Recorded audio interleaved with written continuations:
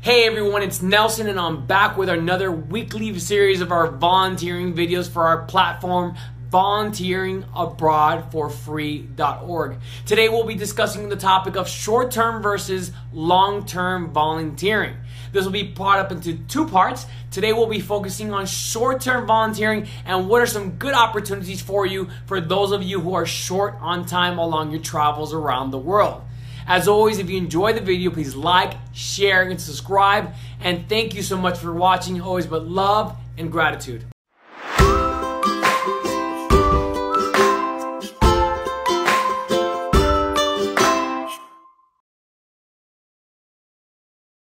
Short term and long term volunteering opportunities.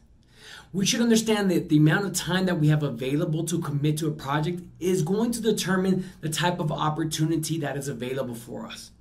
So, talking on short term volunteering opportunity, so I'm speaking to those who maybe have a couple days or a week max to focus on a project.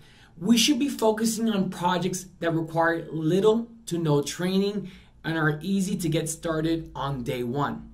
So following are my top three choices in no particular order. Number one is animal shelters.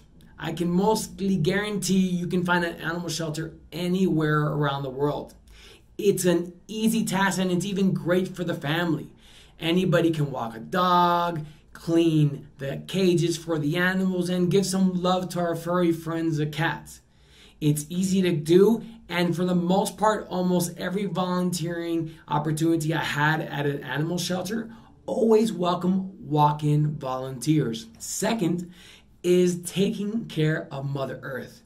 Now, this is a very easy opportunity because all you really need is a trash bag and pick up trash along your travels. There's even an exercise called plogging, I believe, where the concept is that you pick up trash while you're jogging. And for the most part, you can usually find daily events in, pre- in pretty much any country doing some sort of beach cleanup and picking up trash along the sidewalks. And at the end of the day, this is something that has immediate impact in the country that you're visiting. Now, last and certainly but not least, is food banks and soup kitchens. Now, you can again find these all around the world. These are very easy. Usually, they involve in prepping food, um, actually giving the food to the homeless, in this case, where somebody would not know where their next meal was going to be. Now, also, on a side note, on along your travels, if you happen to encounter a Sikh temple, they have this amazing opportunity called Langar. Essentially, is where they take their time to feed the local community.